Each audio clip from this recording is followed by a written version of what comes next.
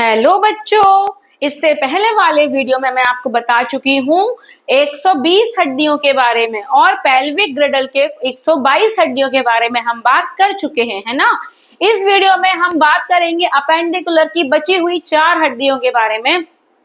अब आप बोलोगे, मैम, ये अपेंडिकुलर क्या होता है? भाई, मैं बता चुकी हूँ, अपेंडिकुलर वो हड्डियाँ होती हैं जो किसी की रक्षा नहीं करती हैं।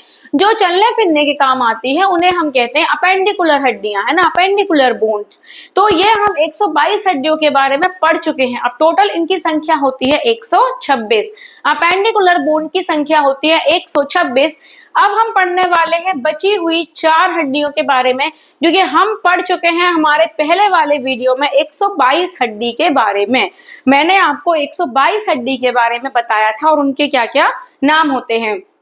ये हम पढ़ने वाले हैं कॉलर बोन। किसके बारे में पढ़ने वाले हैं? कॉलर बोन के बारे में। कॉलर बोन की संख्या होती है दो। इनको ब्यूटी बोन भी कहते हैं। जो पतली पतली लड़कियाँ होती हैं, उनमें ये कॉलर बोन दिखाई पड़ते हैं। इसे हम ब्यूटी बोन भी कहते हैं। इसे क्या बोलते हैं? ब्यूटी बोन भी कहते हैं।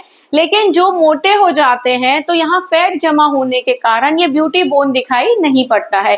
इनकी संख्या दो होती है। ये एस शेप्ड के होते हैं। किस शेप्ड के होते हैं? एस शेप्ड की बोन होती है। और इसकी जो लंबाई होती है, वो होती है छह इंच की। और इनकी संख्या होती है दो। अब हम बात करने वाले हैं शोल्डर बोन के बारे में, है ना? शोल्डर बोन को हम कहते हैं स्कैपुला और स्कैपुला की संख्या भी दो होती है। कितनी होती है? दो होती है। तो टू प्लस टू मतलब collar bone plus shoulder bone मिला के हो गई two plus two is equal to four एक सौ बाईस हड्डियों के बारे में हम पहले पढ़ चुके हैं तो 122 प्लस चार मिला के हमारी हो गई 126 बोन्स है ना? 126 हड्डी जो कि हमारी अपेंडिकुलर में होती है। तो आज ये हमारा अपेंडिकुलर का पार्ट कंप्लीट हुआ। हमारे नेक्स्ट वीडियो में हम देखेंगे एक्सियल बोन के बारे में, जो हमारे इंटरनल ऑर्गन्स की रक्षा करती है। उन्हें हम एक्सियल बोन कहते हैं, जिनकी संख्या 80 होती है।